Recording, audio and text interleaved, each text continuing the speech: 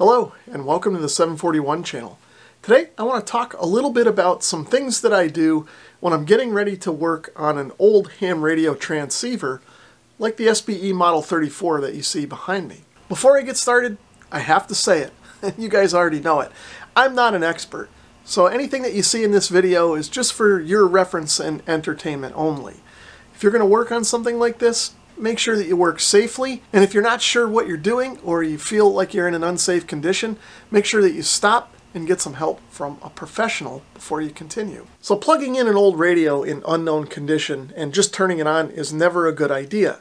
There could be major problems with the radio that would either further damage it or you could have problems with the electrical system or your power supply and even cause a fire in extreme cases. So I'll show you guys a couple of things that I do with old radios like this to try and prevent issues from happening. So this particular radio can be powered from either AC or DC. Right now I've got it wired up to run on DC, so we'll talk about that first. The best thing to do with a DC powered radio is to use a current and voltage limited power supply, like the one I'm showing here. And what you can do with a power supply like this is set voltage and current limits so that if there's a major problem with the radio, it can't draw too much power from the power supply and damage the components in the radio. So with a current limited power supply, what I like to do with something like this is take a look at the owner's manual and find out how much current the radio should draw in receive mode to start off with. Then I would go to the current limited power supply and set that current limit to that value.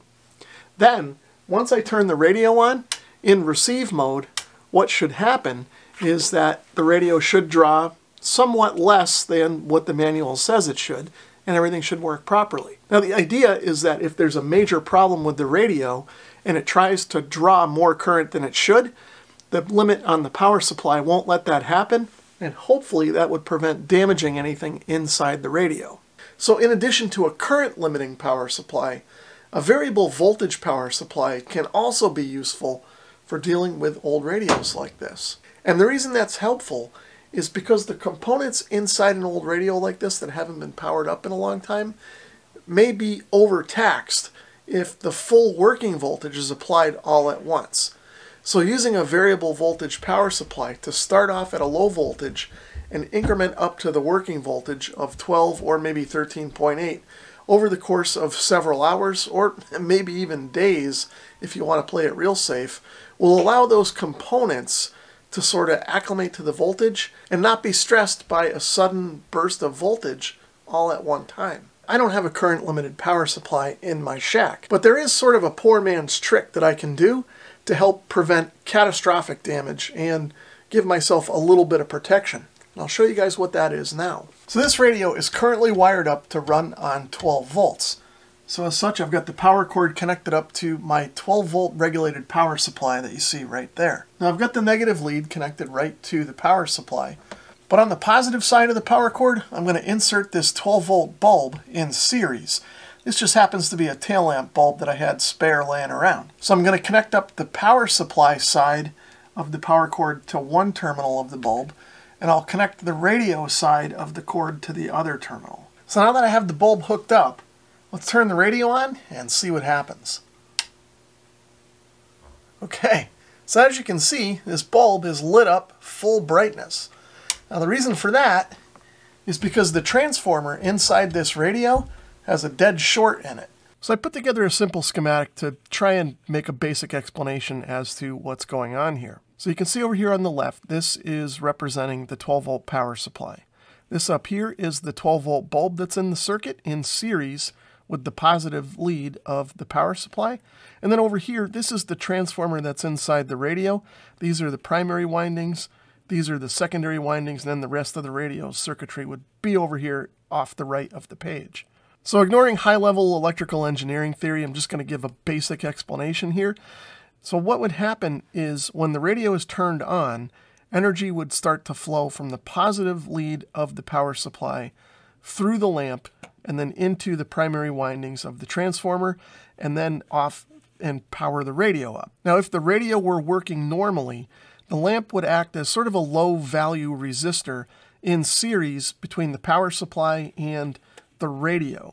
And therefore, it really wouldn't dissipate much power. In fact, it may not even light up at all. Most of the power would travel through the lamp and into the radio and be consumed by the radio. But in my case, the primary windings of the transformer are shorted. So the circuit actually looks more like this. So what happens is, is when the radio is turned on, instead of the energy flowing through the transformer and being sent into the radio, all of the energy wants to travel through this dead short and back into the power supply. So because the transformer is shorted and all the energy is going to flow directly through what's essentially just a wire now, all of the load and power is going to be consumed by the lamp. And that's why in the previous video clip you saw the light bulb light up full brightness because all of the power was going through it and not being consumed over here. And the upshot of this is if we didn't have the bulb here and we had just a straight connection here, through the power supply, we'd basically just be shorting the output of the power supply, and that could damage it. Adding the lamp gives us a load and allows the energy to dissipate without doing any damage to the power supply. So just for the sake of demonstration purposes, I've got a functional radio hooked up to my power supply with the lamp in series. If I turn the radio on, you can see that the radio comes on and works, but the bulb is not lit up at all. So if I want to test out AC power operation on this radio, I can set up the same type of light bulb limiter that I did for DC with a light socket and an old incandescent bulb. So I don't have this hooked up and ready to go yet because I don't have all the pieces I need to make this safe. As I'm sure you know, the AC wall voltage is somewhere around 120 volts and a little bit more dangerous and susceptible to problems than working with 12 volts. So I want to go down to the hardware store and get a few more pieces to make sure this is safe before I hook it up and use it. But the idea is the same. I'm going to wire this incandescent light bulb in series with the power cord of the radio so that if when I plug the radio in and turn it on, there's a short inside the radio like we saw on the DC side, the light bulb will absorb that power and prevent the energy from getting into the radio or doing damage to the electrical system in my house. So in conjunction with the light bulb to test AC power, I also can use this Variac. Now what this is, is basically a variable transformer that I can use to adjust the AC wall voltage. And this particular unit will go from zero all the way up to 140 volts. So what I would do is I plug my radio in to the light bulb limiter and then plug the limiter into the Variac. And then what I can do is starting at zero, increase the voltage slowly. Now this will do a couple of different things for me. The first thing is that it doesn't allow the components inside the radio to be stressed by a sudden jolt of energy if everything is working correctly. So in other words, what can happen is when you plug an old radio in that's been sitting for a long time, if especially the capacitors inside see that voltage applied all of a sudden, if they're somewhat marginal because they're old, they can fail right away.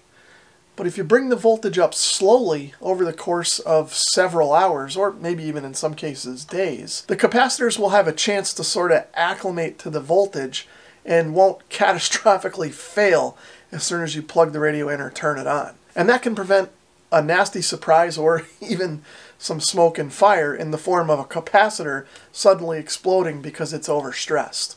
Now the other thing it'll do, especially in the case of this radio that we know has a dead short in the primary windings of the transformer, is as I bring this voltage up, this light bulb will get brighter and brighter, letting us know there's a problem.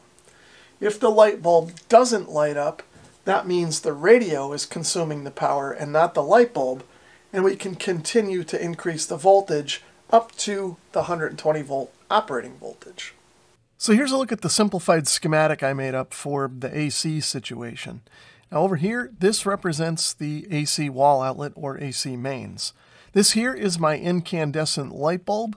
This symbol right here is supposed to represent my Variac, and then over here is the transformer in the radio, and then off the right side of the page would be the rest of the radio's circuitry.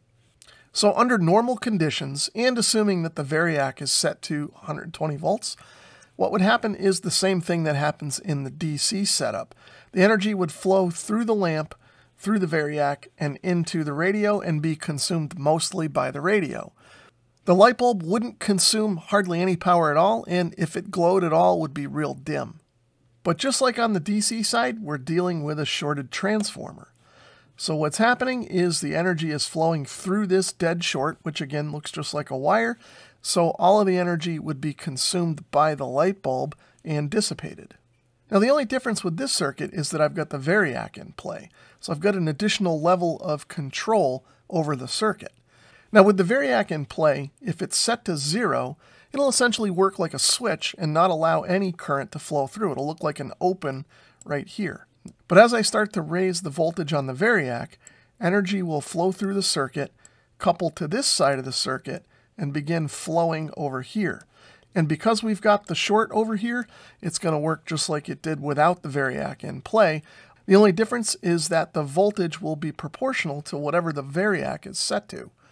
So as I raise the level of the variac, more and more energy will flow through the circuit and the bulb will get brighter and brighter. Working with this stuff can be a little bit dangerous, so make sure that you know what you're doing, have your wits about you, and go slow. And if you're not sure what to do, stop and get some help.